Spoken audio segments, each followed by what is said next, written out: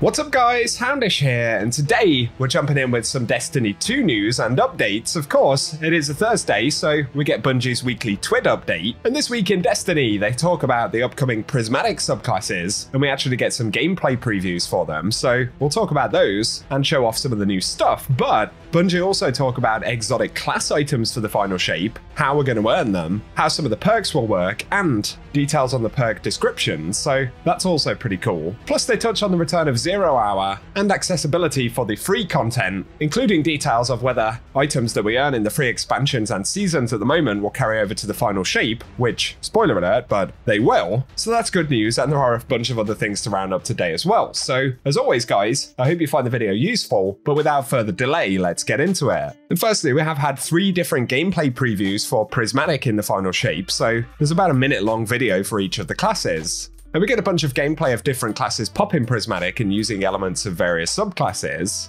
Prismatic seems to have a reasonably generous timer, plus we spot additional things like Stasis Frost Armor, which we don't know a lot about yet, and there are some new weapons, what looks like a rocket sidearm in the Warlock PvP clip, and you'll even notice in some of the gameplay a new Nightfall in the Pale Heart, where we need to activate the Ahamkara skulls with Taken Energy, and a boss called Tormentor of the Ahamkara, which is very interesting. So loads of cool stuff to take a look at, and without interruption, here are the gameplay segments from today.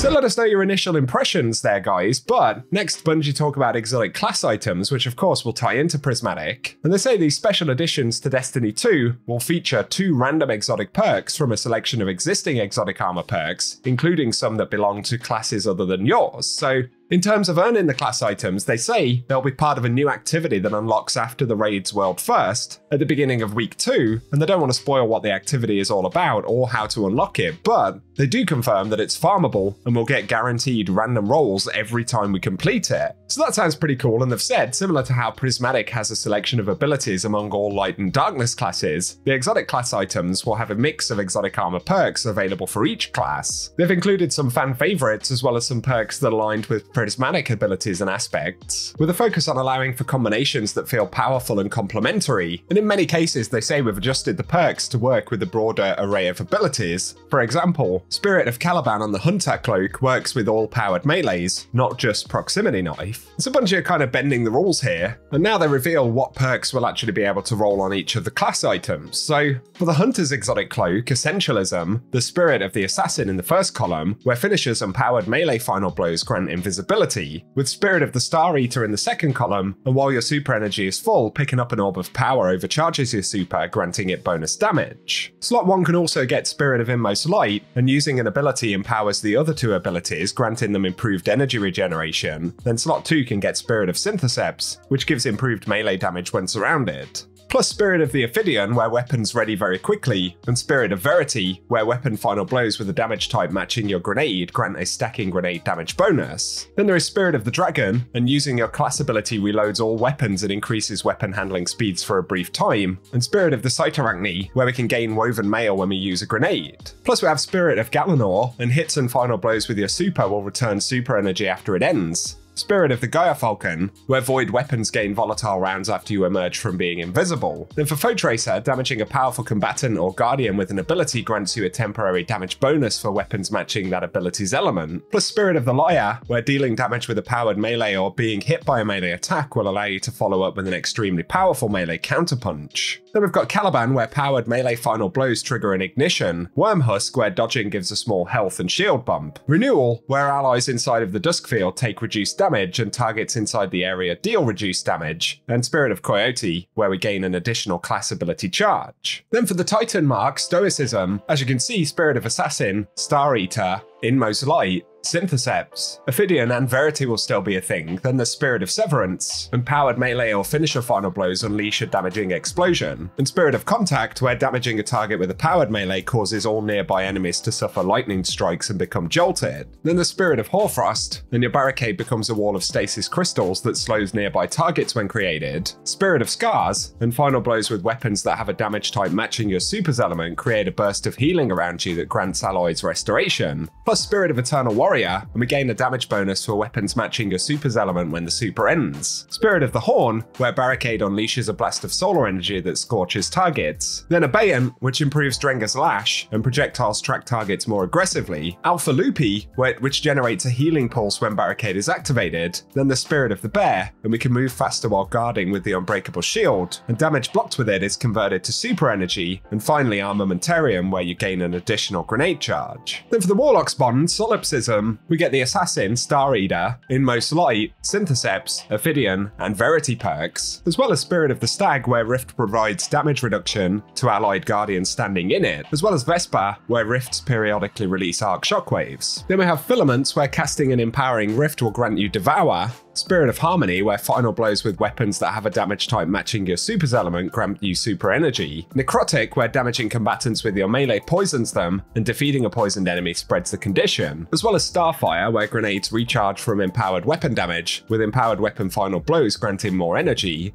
Osmiomancy, where grenades recharge quicker on hits and the Seeker spawn from cold snap grenades will travel further. Then we've got the Swarm, where destroying a tangle spawns threadlings. Apotheosis, where we temporarily gain greatly increased melee and grenade regen after Super's end. And Spirit of the Claw, where we gain an additional melee charge. And Bungie finally say all of the exotic class item perks will only work when you have Prismatic equipped. But otherwise, in the final shape, there'll be some buffs that impact both the original exotic armor perks and the Spirit versions. And they say some of the perk combos might end up being better than we expect. So I think those sound pretty cool, and it's certainly going to be nice to actually get to try them out in the game. Give us your thoughts down below. Otherwise, in the twit, Bungie talk about the daily red border weapons that we're going to get access to in seasonal activities up to the final shape, and the launch of Zero Hour next week. So that will drop on May 14th, and they say it will be a 40 minute timer on normal and a 20 minute version on legend, with the craftable version of Outbreak Perfected drop in. And they say there'll be some secret chests available each week to also unlock some new additional perks. And for players who already have the catalyst, we'll be able to craft it immediately, but the legend difficulty will drop the catalyst as well for players who haven't picked it up previously. So let us know if you're looking forward to Zero Hour next week. And lastly, Bungie talk about the free content that's been made available in terms of the expansions and the seasons from the past year. And importantly, they do confirm that any items that we earn while playing the free stuff will remain unlocked on our accounts indefinitely, so that's a big positive. And when Final Shape launches, the campaigns for Shadowkeep and Beyond Light, along with the Stasis subclass, will remain available to all players at no additional cost. So some really positive info there, guys. For today, that pretty much sums up the twap. So there we go, I did it again. It's the twid. But give us your thoughts in the comment section. Apologies for my voice. Got a bit of a sore throat and I'm really struggling today, so I hope you've been able to put up with it. If you have found the video useful though, a rating really does help us out down below. And otherwise, I appreciate you tuning in, and I hope you guys have an awesome day.